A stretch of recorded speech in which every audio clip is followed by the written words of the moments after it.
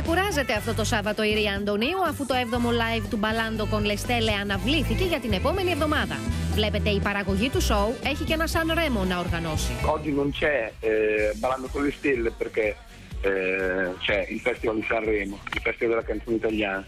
Ogni anno diciamo, tutta la televisione si ferma per una settimana in occasione del, del festival. Μέσα στους χορευτές που εμφανίστηκαν στο φεστιβάλ τραγουδιού και ο Ραϊμόντο της Ρίας με όλους τους επαγγελματίες αλλά και την παρουσιάστρια Μίλη Καρλούτσι που μας το πρόλαβε μέσω Twitter. Την Παρασκευή θα είμαι στο Σαν Ρέμο με όλους τους χορευτές του Μπαλάντο Κονλεστέλε.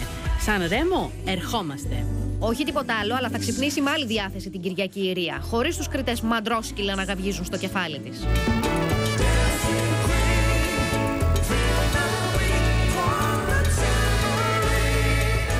Fatto qualcosa di fuori tempo? no. Allora il tempo è la prima cosa per giudicare. Ma non ho dato zero. Se lei andava fuori tempo io do zero. Sì, ma Οι κριτικέ που μου γίνονται δεν με ενοχλούν πολύ. Γιατί γνωρίζω ότι αποτελώ στόχο. Είναι τηλεόραση και όλα είναι ρόλο.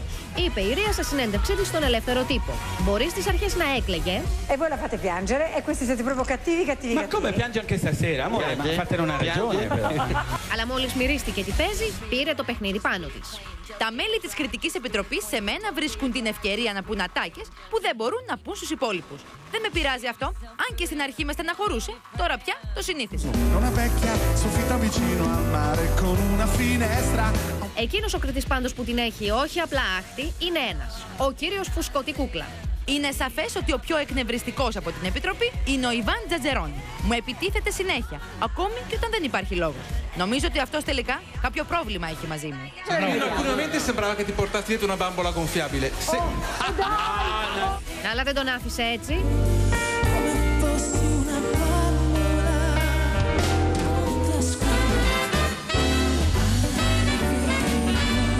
Κοινό πάντως αγαπάει τη Ρία και την κρατάει ακόμη στο παιχνίδι, κάτι που σίγουρα κάνει πύραυλο τον Τζαντζερόνι. Όταν κάποιος με ειρωνευτεί, δεν χαλιέμαι. Αλλά εάν ακούσω άσχημη κουβέντα για την Ελλάδα, τα παίρνω και λυσάω. Προς το παρόν δεν έχει τολμήσει κανείς, αλλά αν το κάνουν θα βρουν μπροστά τους τη Ρία. Θύματα της οικονομικής κρίσης είναι και οι Βραζιλιάνοι.